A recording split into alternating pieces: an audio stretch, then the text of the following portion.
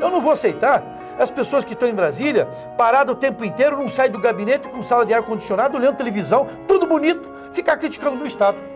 Nós vamos conversar aqui no programa Falando Francamente com o governador Ivo Cassol, de Rondônia.